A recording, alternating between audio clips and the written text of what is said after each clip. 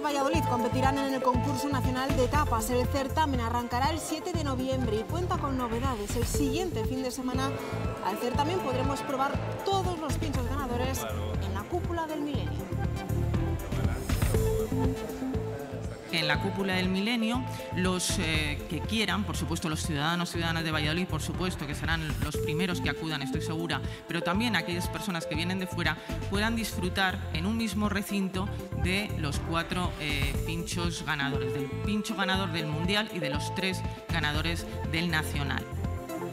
¿Qué tal? ¿Cómo están? La gastronomía es uno de los pilares más importantes, de los atractivos turísticos más importantes de la ciudad. Hoy es el Día Mundial del Turismo, un sector que cada vez gana más peso en la ciudad. Ahora el objetivo es que esos visitantes se queden más días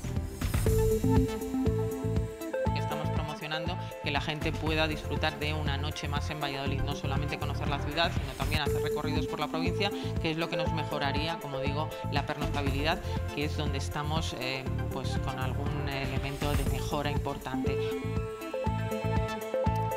Aumenta el número de pensionistas en la provincia. Los vallisoletanos son los que cobran la pensión más alta de Castilla y León, algo más de 1.200 euros de media al mes. Semana de renovaciones en el Real Valladolid, la última la de Javi Sánchez. Hola Marina, muy buenas tardes. ¿Qué ha hablado hoy? Sí, hoy ha sido el protagonista en rueda de prensa. Contento el jugador con esa renovación, esa ampliación de su contrato por dos años más, es decir, hasta 2026. Ha reconocido el central que no ha sido para nada una decisión difícil de tomar porque, entre otras cosas, confía en el proyecto de este club. La renovación fue bueno, al final ya sabes cómo va esto, ¿no? te llama tu agente, están interesados, ambas partes estamos de acuerdo y, yo ya te digo, encantado con, estar aquí, con ampliar dos años más mi contrato, con el proyecto que se está haciendo, que creo que se está trabajando bastante bien, entonces bueno, eso es uno de los puntos que a mí me, eh, me hizo renovar, vamos. Lo meteorológico, mañana se espera un día muy similar, muy parecido al de hoy. Beatriz, buenas tardes. Sí, Laura, buenas tardes. Efectivamente, temperaturas similares, estado del cielo también similar. Ese cambio llegará sobre todo de cara a la jornada del jueves, cuando es muy probable que lleguen esas precipitaciones y también desciendan las temperaturas solo en la jornada del jueves. Enseguida se lo contamos en el tiempo.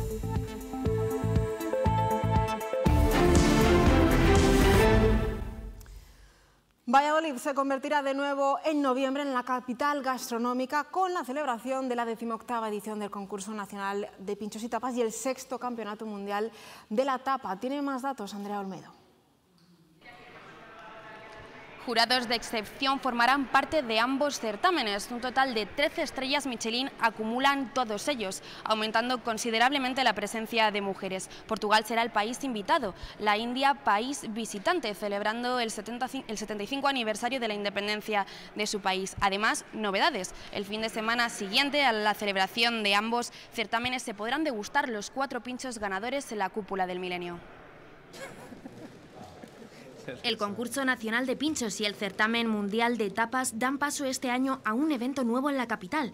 Además de celebrar la competición los días 7, 8 y 9 de noviembre, el siguiente fin de semana se podrán probar todos los pinchos ganadores en un mismo recinto. Se trata de complementar esa oferta porque era insuficiente, porque era insuficiente y mucha gente nos decía, yo no he podido probar, yo me he quedado con las ganas y que va a permitir que en la cúpula del milenio los eh, que quieran puedan disfrutar en un mismo recinto de los cuatro eh, pinchos ganadores. También como novedad, este año se incorporan al concurso nacional los finalistas del concurso de pinchos de barrios. Un concurso que la verdad que hemos tenido un éxito muy grande, la gente está muy contenta, mucha repercusión. Va a venir muy bien porque realmente les vamos a integrar dentro del concurso nacional y vamos a dar la opción de que realmente ellos también puedan hermanar. Un total de 46 participantes de todas las comunidades autónomas de España lucharán por quedar entre los tres finalistas, cuatro de ellos de la provincia de Valladolid. Que hoy preguntes por donde preguntes en España y en muchos lugares del extranjero te digan que el lugar de la tapa en España es Valladolid, que las nuevas generaciones lo tengan tan en cuenta. 16 finalistas son los que lucharán por el puesto ganador del Campeonato Mundial, este año con la participación de cuatro países nuevos. Egipto, Eslovenia, Malta y Singapur. Eso yo creo que da un poco la imagen de lo que es este concurso, de cómo poco a poco se va extendiendo por el mundo Más de 100 cocineros han participado en el proceso de selección, 31 países, que seguramente muchos de ellos han puesto Valladolid en el mapa. Esta cocina en miniatura demuestra un año más que Valladolid es ciudad de tapas. Y entre otras cuestiones, Valladolid es conocida por sus tapas. Su gastronomía atrae cada año a muchos visitantes. Hoy, en el Día Mundial del Turismo, hemos querido hacer balance de los últimos datos. En agosto vinieron más de 44.700 turistas. Desde Madrid y Andalucía hasta Francia o Estados Unidos han llegado 45.000 viajeros a la capital durante el mes de agosto. Cifras tanto de visitantes como de pernoctaciones muy similares a las de 2019, eh, que era el reto que teníamos, recuperar lo que fue un muy buen año, que fue 2019, con un incremento importante del número de turistas eh, internacionales, extranjeros, que sigue siendo el reto donde más podemos crecer, en torno a un 20%. El 70% de ese turismo son viajeros de entre 35 y 65 años. Una franja de entre 30, 55, 60 años, que es probablemente la franja con mayor capacidad adquisitiva. Y Valladolid vende calidad, vende calidad. Por lo tanto, no es un turismo eh, barato. Y eso eh, supone, lógicamente, tener una capacidad adquisitiva que los más jóvenes no tienen. Pero, sin embargo, los jóvenes han sido una pieza clave en las fiestas. Todos esos viajeros han registrado más de 68.000 pernoctaciones en los alojamientos de la ciudad, pero solo se han alojado una noche.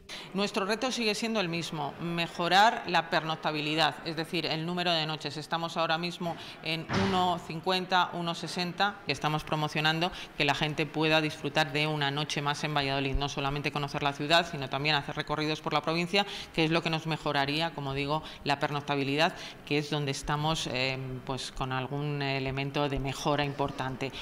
Los lugares más visitados han sido el Museo de la Cultura, la Casa Cervantes y el Museo Patio Herreriano, entre las visitas más demandadas la Torre de la Catedral y las rutas teatralizadas. El Partido Popular de Arroyo de la Encomienda está perfilando su candidatura de cara a las próximas elecciones municipales. Aseguran que dependerá de la dirección provincial del partido, pero que hasta el momento seguirán trabajando por el municipio y sus vecinos. De hecho, hoy han querido desde la oposición hacer sus aportaciones a los presupuestos de 2022.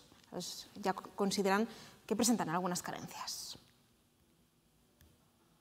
Queremos que la seguridad es principal. Tenemos muchas quejas de muchos vecinos que, están diciendo que la seguridad no está funcionando bien, que tienen muchos robos, que hay problemas por las calles. Entonces hay que empezar a mover el tema de seguridad. Ahí hay que invertir, hay que invertir de una forma seria. Luego infraestructuras, pero no infraestructuras de forma de baches, que es un poco lo que se ha hecho en estos tres años. ¿no? Un bache aquí, otro bache allá, sino juntar a todos los grupos políticos y hacer eh, un, plan estratégico de infraestructuras para los próximos 10 años. Y luego hay otra parte fundamental, que es la tercera, que es la limpieza y la jardinería.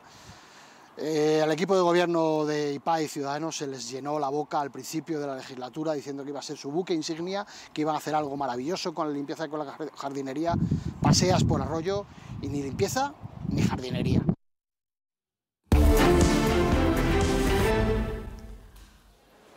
Aumenta en un 1% el número de pensionistas en la provincia de Valladolid en septiembre. Son más de 118.000 que cobran una cuantía media de 1.207 euros al mes. Los despidos por no superar el periodo de pruebas se han incrementado casi un 800% en toda España. Son datos, son datos, de un estudio elaborado por ADECO. En agosto de 2021, 270 personas con contrato indefinido fueron despedidas antes de terminar ese tiempo de prueba que como mucho puede durar seis meses. Este año, también en agosto, le ha ocurrido a más de 2.300 trabajadores. Son cifras que hay que enmarcar dentro del aumento de contratos indefinidos que ha promovido la reforma laboral. El trabajador siempre tiene que superar el periodo de pruebas cuando se incorpora a una empresa. El periodo de prueba ha existido siempre desde que hay estatuto de trabajadores hay periodo de prueba. La reforma laboral ha provocado que crezcan los contratos indefinidos, pero también han aumentado los despidos por no superar ese periodo de prueba. Las empresas han estado utilizando los contratos temporales como periodos de prueba. Todos conocemos eh, la frase de, bueno, te contratamos temporal y luego si, nos, si encajas en la empresa te haríamos un contrato indefinido. Este cambio en el mercado laboral está haciendo que las empresas aprovechen el vacío legal. Esos dos y seis meses de prueba lo que están haciendo ahora es volver a buscar la metodología de destrucción de empleo. Ahora sí están utilizando en el que el no pasar el periodo de prueba no tiene indemnización, no tiene realmente algo que explicar a la inspección laboral. Desde los sindicatos piden que se investigue a las empresas que realizan esta práctica. La inspección de trabajo debería actuar o deberá de actuar o revisar esas empresas en las que se están produciendo muchos despidos o un número anormal de despidos en periodo de prueba. Además, alertan de que el periodo de prueba se ha extendido hasta los seis meses en los contratos indefinidos. Llega la gripe. Bueno, este año ha estado presente incluso también en verano, en niños. Es consecuencia de la COVID. Desde el Centro Nacional de la Gripe, aquí en Valladolid, se vigila su evolución.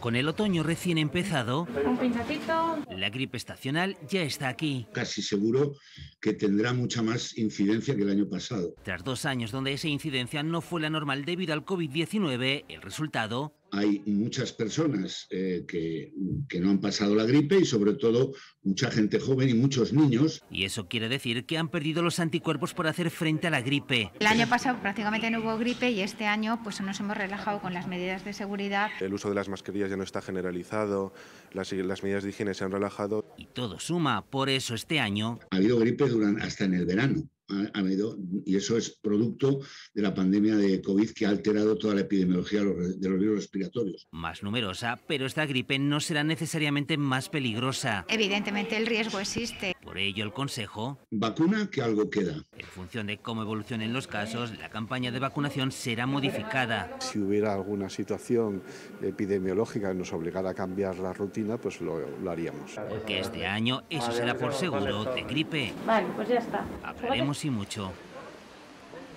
Dos jóvenes de 23 y 24 años han sido detenidos por un delito de robo con fuerza cuando intentaban robar gasoil de un camión. Tiene más datos, Fran Paino.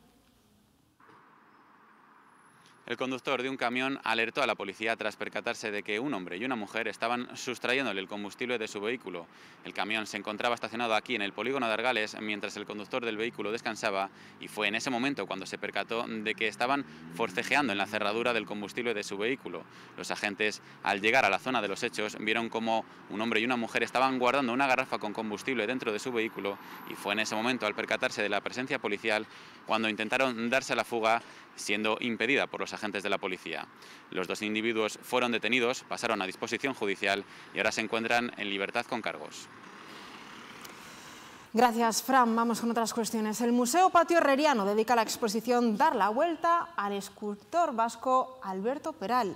Es una muestra que nos muestra la abstracción y la empatía geométrica del escultor que podemos ver en la capilla de los Condes de Fuensaldaña y en la sala 9 hasta el 29 de enero del próximo año.